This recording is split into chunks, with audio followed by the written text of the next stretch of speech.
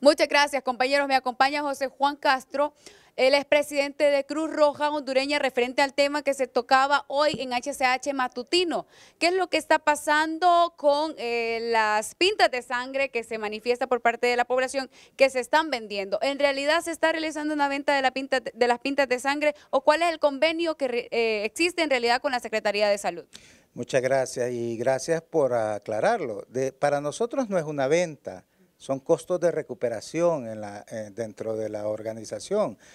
Nosotros somos una organización que estamos dando un servicio a la población y que bajo un decreto hace más de veintitantos años se nos dio para que mejoráramos la calidad sanguínea. En este proceso de la calidad, de la mejora de la calidad sanguínea, hemos hecho diferentes inversiones como organización sin fines de lucro que nos permite poder garantizar a la población hondureña de esa calidad sanguínea. Los niveles de procesamiento que tenemos es a un nivel eh, de países europeos y, es más, en el país no hay ningún banco de sangre, ninguno que tenga los, los procedimientos eh, que hace la Cruz Roja hondureña. Ha invertido enormes cantidades en equipo, en personal eh, y, y, todo este aspecto. Y en base a eso tenemos un convenio con la Secretaría de Salud y el Seguro Social, donde le suministramos bajo costos de recuperación las unidades sanguíneas. Hay hospitales, eh, como el Hospital Escuela claramente, que eh, eh, no, manejamos la sangre del Hospital Escuela, no sabemos cómo son los procedimientos que, estos tienen y, que, y otros hospitales también que están captando sangre. Sinceramente, la captación de sangre en otros hospitales de esa manera es un enorme peligro para la población. Cuando se refieren a procesos de recuperación, que es el costo que tiene una pinta de sangre, ¿cuánto es el costo y de igual forma a qué se refieren con este proceso? Proceso de recuperación es eh, todo lo que representa en bolsas. Las bolsas son traídas del extranjero, son compradas con, con, con fondos, perdón, con, con divisas, o sea, con dólares.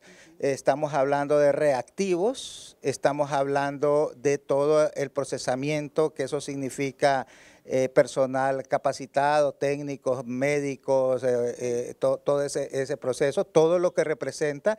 Y eso hay un costo de recuperación que se lo hacemos pasar a la Secretaría y por eso tenemos en, ese proceso. Ese costo de recuperación anda en alrededor de unos mil y, y tantos mil ochocientos lempiras en costos de recuperación que se los hacemos cargar, se los hacemos pasar a la Secretaría. Pero también hay un tema muy importante y que siempre lo hemos mencionado eh, como Cruz Roja. Eh, cuando nosotros damos, eh, buscamos los costos de recuperación a, a, otros hospitales, estos hospitales sí están poniendo un costo demasiado elevado a esta sangre y principalmente en los hospitales privados. Ya hemos hecho las iniciativas y yo creo que es un buen momento de regular este proceso. ¿Por qué? Porque sin duda cuando en otros hospitales están diciendo que, que es sangre nuestra, que el hospital le pone un costo adicional y a veces es el doble.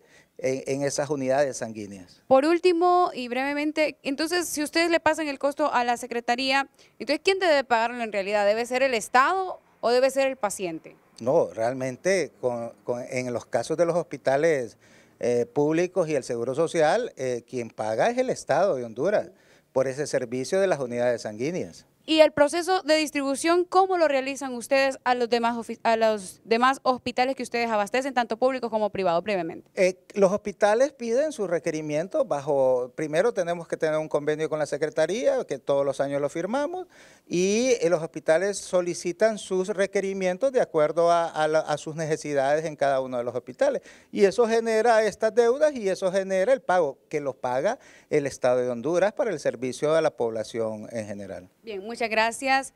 Con este informe, compañeros, sobre los datos de Cruz Roja que mencionábamos hoy por la mañana, pues regresamos a estudios principales y estaremos ampliando también en otro reporte más a profundidad de lo que sucede con estos fondos. Con este informe en cámara de Manuel Rojas, les informó Nirvana Velázquez.